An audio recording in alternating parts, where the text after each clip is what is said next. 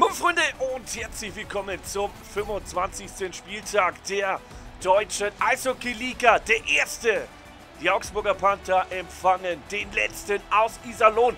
Die Roosters heute zu Gast bei den Augsburger Panthern. Und wir dürfen gespannt sein auf dieses, auf dem Papier eigentlich klar aussehende Spiel. Aber in dieser Liga ist alles möglich. Alle können alles schlagen. Und Augsburg auch wenn sie hier noch zusätzlich zu Hause spielen. Das Spiel ist nicht entschieden und es werden 60 Minuten gespielt. Und 60 Minuten lang wird Iserlohn kämpfen, wichtige Punkte einzufahren beim Tabellenersten. Das ist das Ziel der Iserlohner, die heute in den weißen Jerseys hier in Augsburg auflaufen. Und Augsburg in traditionellem Grün. Natürlich vor Einischer Kulisse. Strafzeit gibt's. Nach drei Minuten gegen Iserlohn. Und das sind eben die Dinge, die ja, Iserlohn heute vermeiden sollte, diese Strafzeiten zu nehmen. Denn die Strafzeiten können zwangsläufig zu hervorragenden Situationen bei den Augsburgern führen. Da ist Fraser, der probiert es einfach mal vor Brunner und Ullmann. Kommt noch an den Nachschuss ran. Aber auch da gut verteidigt der Iserlohner. Nichtsdestotrotz, die ersten 15 Sekunden des Überzahlspiels. Brandgefährlich der Augsburger IV. Drüber gelegt, aber Stone. Und wichtig jetzt natürlich für Iserlohn, dass man diese Scheibe möglichst einfach, möglichst schnell wieder aus der Gefahrenzone befördert und wieder die Möglichkeit für Augsburg und trotzdem Iserlohn kann sich erneut relativ schnell, relativ spielerisch befreien. Augsburg bringt nicht den nötigen Druck mit. Vielleicht jetzt mal mit abwarten. Hullmann zurück an die Blaue, da ist keiner. Konterchance Iserlohn.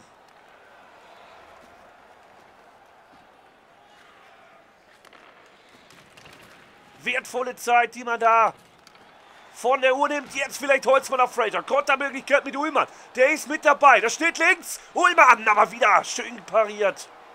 Vom Keeper der Iserlohner. Und auch wieder hier links kein Mensch. Augsburg mit anfänglichem gutem Powerplay. Dann aber stark nachgelassen. Die Zuordnung an der blauen Linie. Sie ist noch nicht richtig.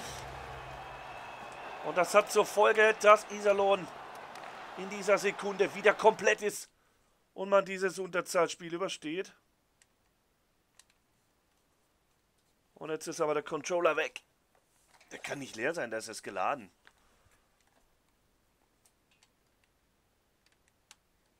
Aber wir probieren es.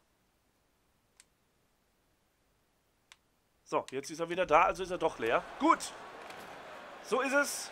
Kurze Unterbrechung in die nächste Strafzeit. Wieder gegen Iserlohn.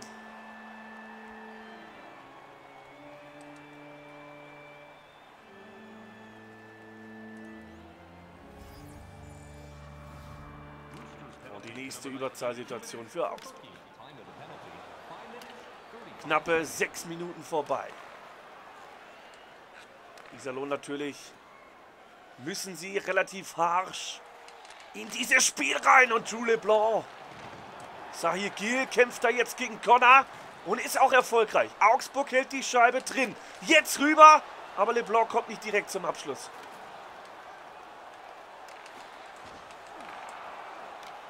Und der war gut, der Spielzug. Augsburg nähert sich dem Tor wieder an. Und Sahir Gil Oh, abgenommen von Stone. Da geht da easy durch und dann die Strafe. Die unnötige Strafzeit gegen die Augsburger.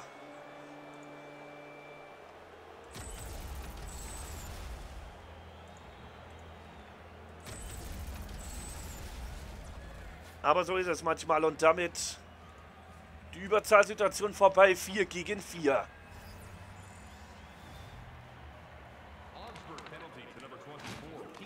schön. Jetzt hat die beiden Teams etwas Platz.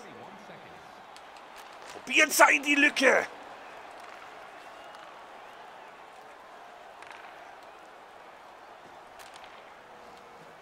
Vorsichtig, Iserlohn kommt jetzt zum ersten Mal in Richtung Olivier Roy. Und das machen sie gleich hervorragend. Musste hart gestoppt werden, der Iserlohner Angreifer. Und sah hier Gil. Fährt er hinterm Tor entlang. Auf LeBlanc. Er braucht wieder eine Millisekunde zu lang. Schade. Wieder eine hervorragende Chance für Augsburg. Die von Beginn an hier zu Hause wirklich Druck machen gegen den nominell Tabellenletzten. Der jetzt noch eine knappe Minute Powerplay bekommt. Lautenschlager. Aber auch hier Augsburg sehr aufmerksam. Scheibe wird schnellstmöglich rausbefördert. Da ist Hase. Der hat in der Mitte Platz. Der hat in der Mitte Raum. Der hat Zeit und der schießt in Unterzahl. Iserlohn kommt und vergeigt. Also, sie sind noch nicht richtig da, die Iserlohn Roosters. Klappt noch nicht ganz so gut. Und heute wirklich viele, viele Strafzeiten.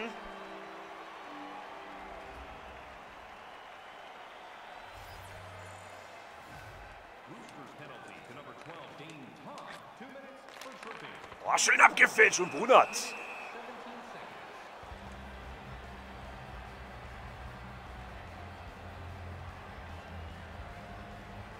9 zu 2 Schüsse in diesem ersten Durchgang.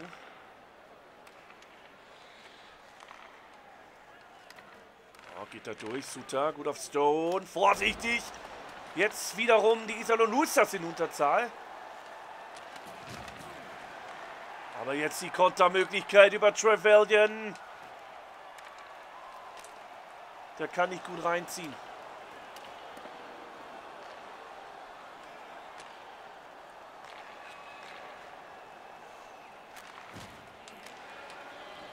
Eine Minute noch Überzahl für Augsburg. Drew LeBlanc.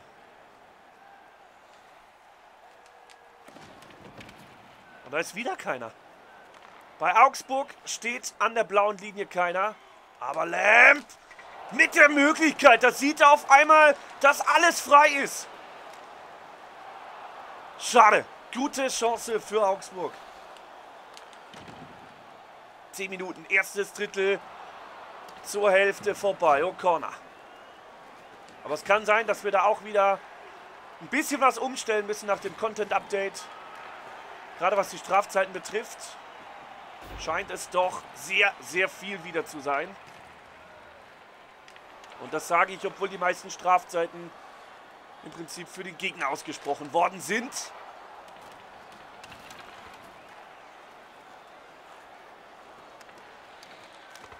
Stila mit dem schnellen Movement.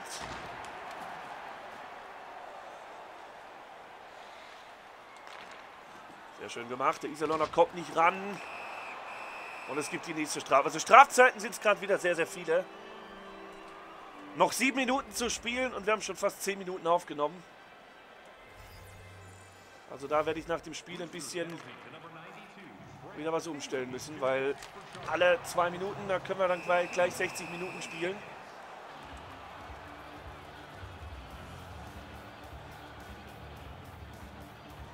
Die Strafzeitenskalierung, ja, tatsächlich ein Problem. Ich glaube, seit 2018 moniert man das. Es ist halt schwierig. Jetzt aber! Oh! Und da muss doch irgendwann mal die Scheibe an Brunnert vorbei. Das ist quasi unmöglich.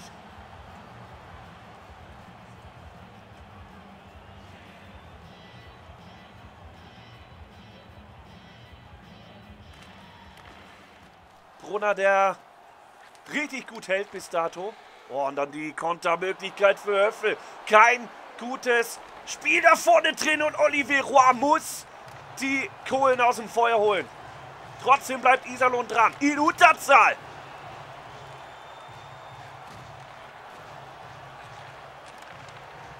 Wahnsinn. Nochmal Iserlohn. Gut von LeBlanc mitgearbeitet. Dieses Unterzahlspiel geht natürlich in die Kräfte. Heieiei. Halbe Minute noch. Iserlohn lange und oft in Unterzahl. Dementsprechend kaum Schüsse in die Offensive. Und das wird es gewesen sein. Iserlohn übersteht auch diese Unterzahlsituation. Holzmann vielleicht noch diese eine Möglichkeit. Nein. Boah, da steht sogar der Iserlohner parat. Und wenn er den kriegt, schnellstmöglich unter Kontrolle, dann wird es gefährlich. Nochmal Holzmann. Der legt ab auf Callahan. Jetzt fehlt die letzte Anspielstation. Die da kommt in Form von Alex Lambacher. Baxmann, Weidner. So, Iserlohn wieder komplett. Und jetzt müsste man versuchen, die Scheibe aufs Tor zu bringen. So wie hier Weidner, Baxmann. Tort! Scheibe kommt! Nachschussmöglichkeit verhindert durch Callahan. Und dann erstmal weg das Ding. Druckphase der Roosters. Boah, die jetzt bei 5 gegen 5 hier mächtig gut aufspielen. Ich komme nicht mehr raus. Wahnsinn, wie Iserlohn da Druck aufbaut.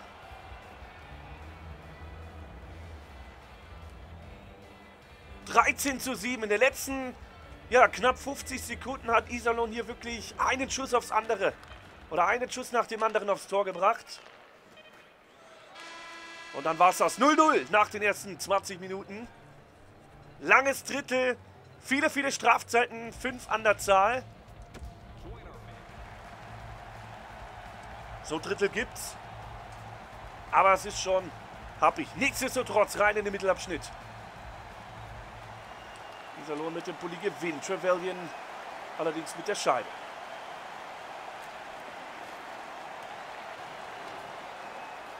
Ein anderer Weg versucht.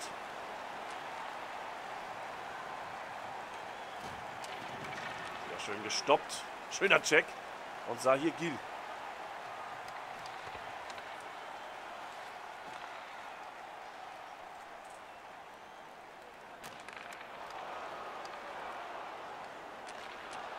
Leute. Dieser Lohn wird stärker. Sehr schön raus über McNeil. Rechts geht Leblanc. Aber es fehlt immer noch so der Zentimeter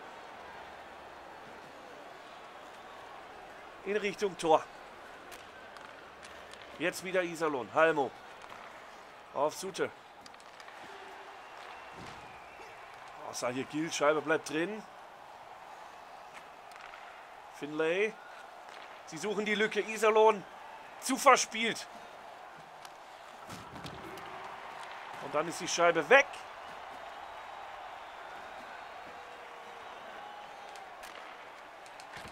Oh, Ullmann. Es fehlt immer so der letzte Pass.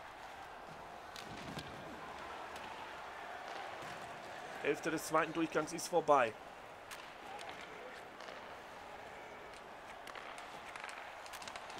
Boah, schönes Hin- und Hergespiel, aber am Ende Brunner wieder der Sieger.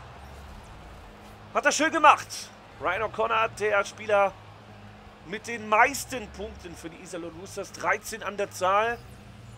Nach knapp 25 Spielen ist das natürlich sehr, sehr wenig.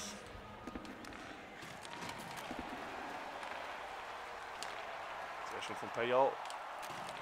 Der auf Sesemski, der hat jetzt ein bisschen Rückraumplatz. Scheibe kommt wieder vors Tor. Und nächste Strafzeit für Iserlohn. Jetzt muss mal ein Treffer rein.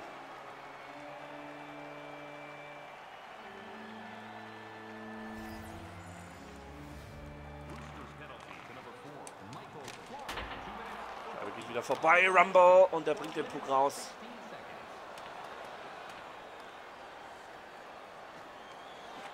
Callahan sieht vorne Stieler, der links auf Ullmann.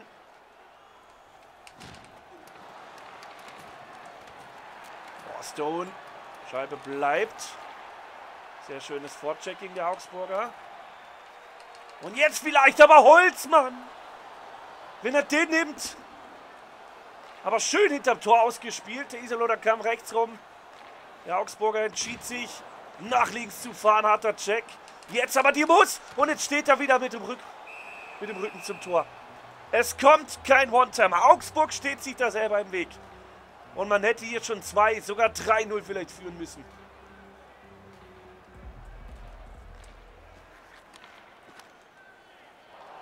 Iserlohn bringt den Puck wieder nach draußen. Wertvolle Sekunden, die man den Augsburgern von der Uhr nimmt.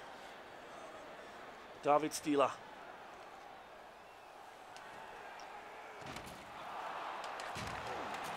Tja, der hätte nach hinten an die blaue gesollt. Payal. Konterchance Iserlohn in Unterzahl. Aber schön gelöst. Von Augsburgs Verteidigung. Jetzt aber Holzmann. Darf nicht wahr sein. Darf nicht wahr sein. Was? Haken. Okay, es war nicht der Check, sondern es war die Aktion vorher und damit wird es in 10 Sekunden die Überzahl geben für die Iserlohn Roosters.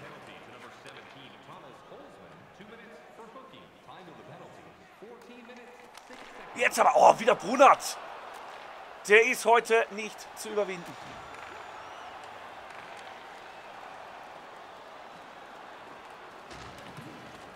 Beide kommen zu Fall. Der Augsburger mit der Scheibe. Und dann kann er zwei Iserlohner abschütteln. Aber dann wieder der typische Zweikampf, der den Gegner hier anwendet, um meinen Spieler rauszuschieben.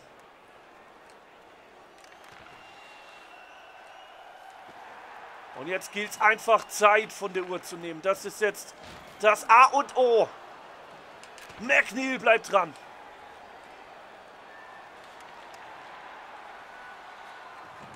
Vorsichtig, Iserlohn Finlay O'Connor.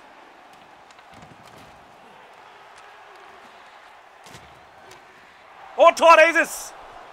Und so einfach funktioniert Eishockey. Rüberlegen, von der Blaue schießen und dann das Ding einnetzen. Wunderbarer Spielzug. Und Iserlohn geht in Führung. Das ist natürlich bitter. Augsburg bestimmt regelrecht die Partie. Hat vorne einfach Probleme, die Scheibe unterzubringen. Ja, das machen die Iserlohner in dem Fall besser. Und dann steht es zu Recht 1 zu 0 für die Gäste. Und das ist das, was ich immer sage. Man darf keine Mannschaft unterschätzen, egal wo das Team aktuell steht. Es ist vielmehr noch der Ansporn, den man an sich selber setzt. Hier weiter auszuspielen. Was denn jetzt? Tor verschoben? Ja. 3,23 noch im Mittelabschnitt. Iserlohn mit der 1 zu 0 Führung.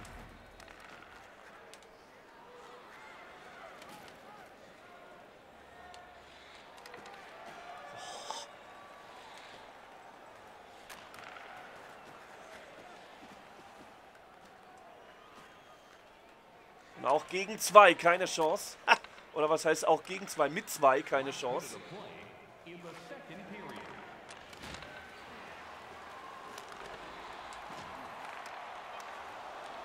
Alter. Also Iserlohn ist richtig stark geworden. Hier geht Ende des Mittelabschnitts.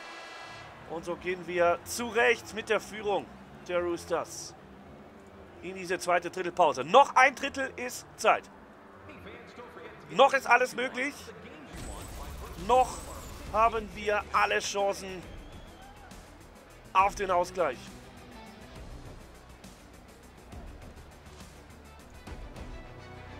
Neunzehn zu 10. Die Schussstatistik spricht eigentlich Bände. Aber bislang kommen wir da einfach nicht ran.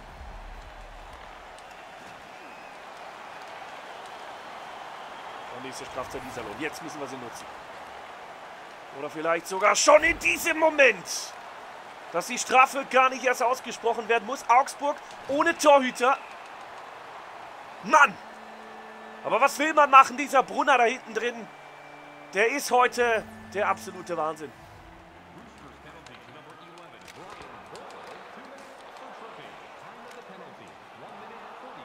Und manchmal gehört da natürlich einfach noch ein bisschen Glück dazu. Boah, Leute.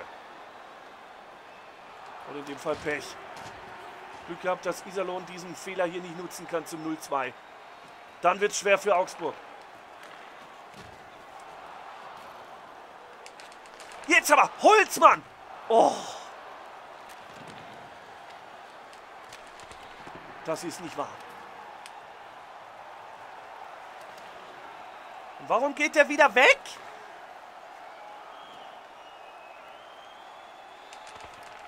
Komm schon, komm schon!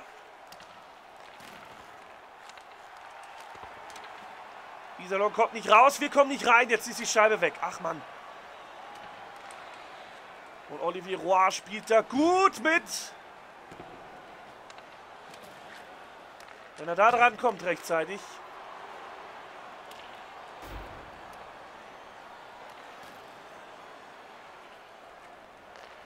Und Trevelyan.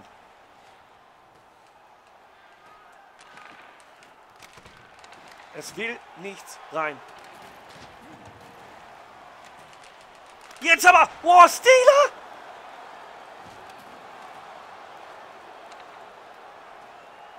Oh, McNeil, schöne Trio. Gut abgeschüttelt, sein äh, Gegenspieler. Das gibt es nicht. Nichts zu machen heute. Das ist wieder einer dieser Partien, in der man einfach keine Möglichkeit hat. Jetzt ist er drin, Tout Leblanc! Und das hat's gebraucht, diesen Treffer für Augsburg. Der war so, so wichtig. Und was man wieder nicht in Überzahl gemacht hat, das schafft man jetzt bei 5 gegen 5. Ganz wichtiger Treffer und schön rausgespielt. Und da hat Brunner absolut keine Chance. 5:21 gespielt im Schlussabschnitt. Und hier steht es 1 zu 1. Augsburg ist wieder zurück. Wie wird Iserlohn darauf reagieren? Bitte an. Trevelyan, jetzt natürlich mit dem Aufwind im Rücken, die Augsburger Panther. Finlay.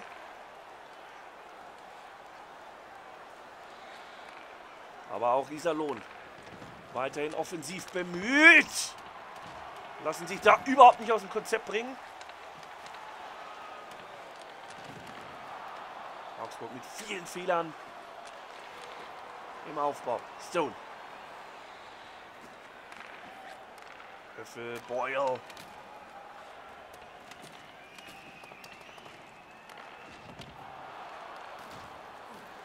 Holzmann kämpft und Holzmann hat die Scheibe.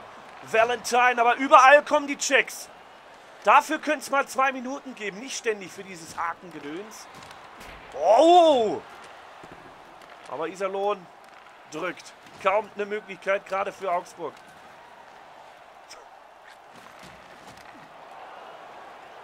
Jetzt aber Steffen Tölzer. Komm on, schade. Einfach probieren. Noch fünf Minuten. Höffel kommt durch. Olivier Roy weit rausgekommen, den Winkel verkürzt. Und wieder Tölzer. Sieht da vorne Payer. Der hat ein bisschen Raum. Und der Pass, der war richtig gut.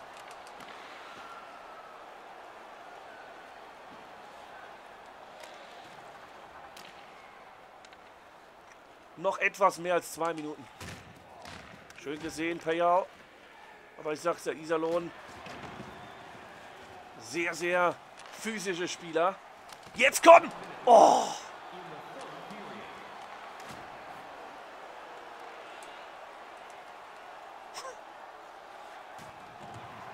Und Iserlohn nochmal mit der Brechstange. Stieler.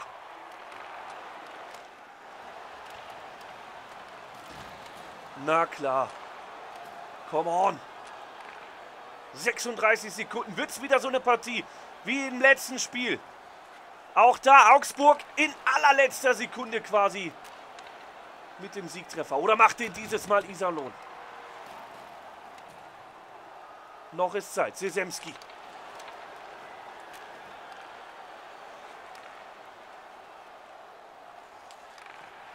Schön weggelegt. Vorsichtig, vorsichtig, Höffel, noch 10 Sekunden. Das wird die letzte Möglichkeit. Nach der regulären, oder vor der ab, mit Ablauf der regulären Spielzeit. Und es bleibt beim 1 zu 1. Und damit muss man sich die Punkte teilen. Was eine Partie. Aber Augsburg zwingt Iserlohn in die Overtime. Und in den nächsten fünf Minuten sucht dieses Spiel einen Sieger. Ansonsten geht's ins Shootout. Schade. Erste gute Möglichkeit. Jetzt ist er da. Ich habe Ullmann gesehen. Und bei 4 gegen 4 ist es natürlich eine bessere Möglichkeit. Viele Individualisten haben jetzt ihre Chance. Ullmann, schöner Interception. Und Iserlohn bekommt hier von Anfang an wirklich Druck. 2,25 noch. Was ein Spiel an diesem Sonntag. Und statt dass man sich da den anderen Spieler... Aber das ist halt...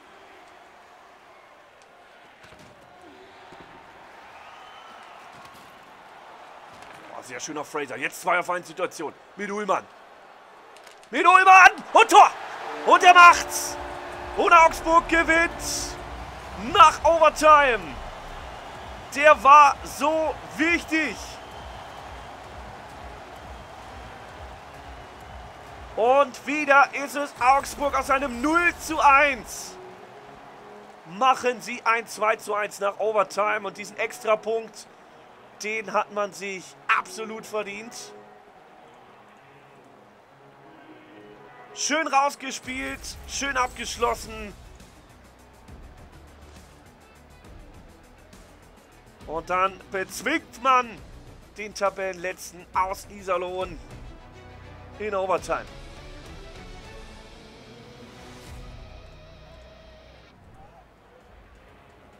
Wahnsinnig guter Abschluss und Christoph Ullmann.